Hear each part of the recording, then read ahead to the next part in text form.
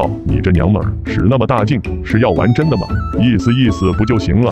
玩真的，老娘不玩真的，难道还玩你妹不成？嗯玩你妹，这是啥意思？你这娘们，本座没有妹妹，你瞎说什么？这要传出去，本座的名声还要不要了？哦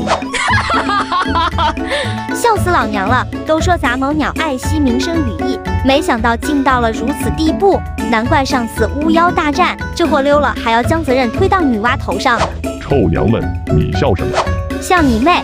本座没有妹妹，本座的血脉高贵无比，是洪荒唯一的存在。你诽谤我啊！看着真要发怒的鲲鹏，九凤心中颇感无语。你妹是骂人的话，不是说你真有个妹妹，你激动个啥？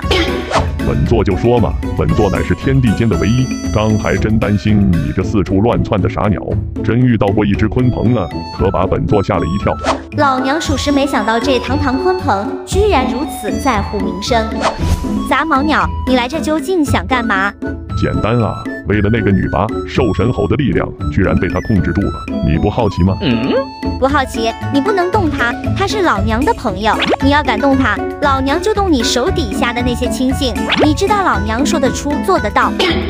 好大的口气！不过本座也没想拿他如何，只是想参详参详。毕竟咱都是旺盛星探之人，当年的后辈一个个的踩在自己的头上，你不憋屈吗？